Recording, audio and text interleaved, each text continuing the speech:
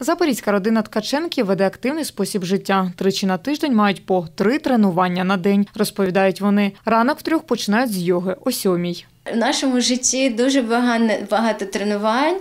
А коли не, нема тренувань, ну ми трошки висипаємось чуть-чуть.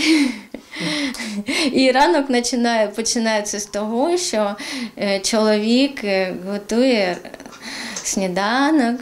Далі розповідає Олена, чоловік Олексій готує сніданок, робить зачіску та макіяж. Аби дружина була завжди красивою, Олексій закінчив курси візажу. Жінка має вроджене захворювання дистрофія сітківки ока. Зір втратила, коли їй було близько 30 років. Згадує Олена. Зараз їй 44. Я себе е, готувала тому, що я буду втрачати зір, тому я не повинна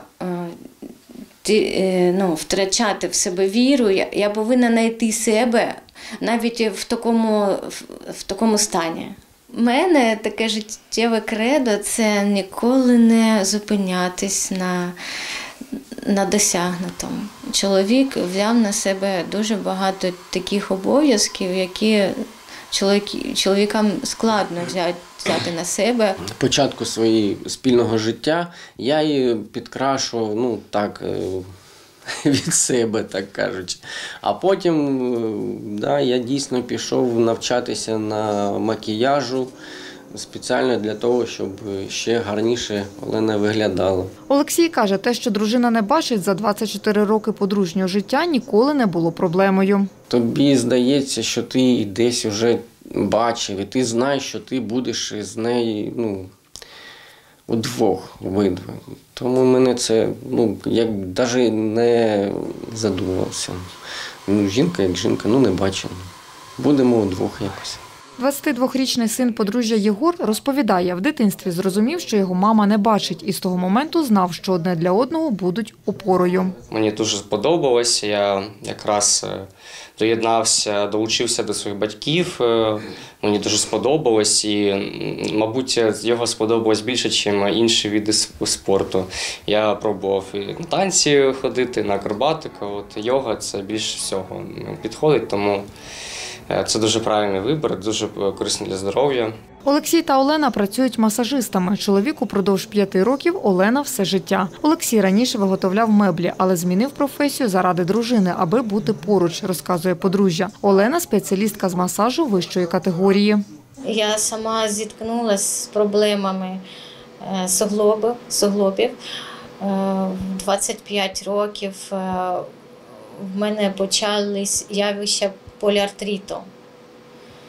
Е, Спочатку це був страх, паніка, тому що мені приходилось дуже багато працювати. Вже близько п'яти років подружжя займається пулденсом, танцями на пілоні. На тренування їдуть після роботи. Олена додає, завдяки цьому виду спорту відчуває себе молодшою і здоровішою. За час занять схудла на 15 кілограмів. Захоплення прийшло е, з розумінням того, що це дуже складно, що воно потребує великих зусиль, е, треба преодолувати себе. Нам з чоловіком подобається ламати всі стереотипи, коли всі кажуть, що ну от здається, що в 40 років вже всі уходять зі спорту. А ми навпаки, ми прийшли в, це, в цей вид спорту. Я так досить скептично відносився до цього. Вона теж не бачить. і Я навіть думав, ну як це так? Ну, ну, коли подивився, як займаються на пілоні, це ж треба бачити, за що держатися, як там ну, стрибки, ну, підходи до пілону. Думав, що це може не, не, не вийти.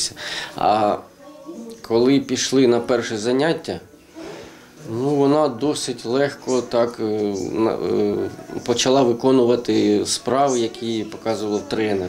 Тренер сама була в шоці. Сам був дуже в шоці, коли не залізли на цей пілон. Цей полденс, не очікував від них такого. Мені стало цікаво, я зайшла, подивилася і зразу сказала Ані, готові ми на чемпіонати. Ну, тому що ну, Ну, Лена це ну, феномен. Лена це феномен. Це, е, це приклад. Це приклад любові до життя. Це приклад, як потрібно жити, як потрібно себе любити, цінувати кожну хвилину, себе, е, чоловіка, е, друзів, усе.